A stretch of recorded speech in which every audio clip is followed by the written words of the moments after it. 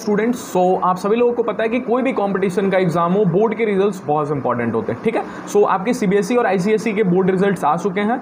So W exam में क्या criteria होता है? क्या मतलब मिनिमम परसेंटेज आपको लाना होता है बोर्ड एग्ज़ाम में जिससे आपको एडमिशन में कोई प्रॉब्लम ना हो ठीक है? सो so, अगर आप कोई भी कॉलेज में यहाँ पे एडमिशन लेना चाहते हैं गवर्नमेंट कॉलेज में जादवपुर यूनिवर्सिटी और कलकत्ता यूनिवर्सिटी ये दोनों का अलग है ठीक है?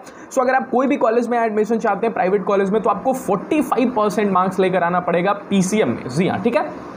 और अगर आप रिज़र्व कैटेगरी से बिलोंग करते हो S C S T OBC तो आपको 40 परसेंट मार्क्स लाना पड़ेगा। इंग्लिश की बात करूँ तो इंग्लिश में आपका 30 परसेंट मार्क्स रहना चाहिए, ठीक है? फार्मेसी कोर्सेज करना है तो 45 परसेंट मार्क्स होना चाहिए पीसीएम बी में, ठीक है? अगर मैं कलकत्ता यूनिवर्सिटी और जादवपुर की बात करूँ तो कलकत्ता यूनिवर्सिटी और जादवपुर में आपको सिक्सटी मार्क्स होना चाहिए जी पीसीएम में, ठीक है? और अगर आप रिज़र्व कैटेगरी हो तो फिफ्टी में काम चल जाएगा सीयू में और वहीं आपका फोर्टी में चल जाएगा जी जे में, ठीक है? चलिए थैंक यू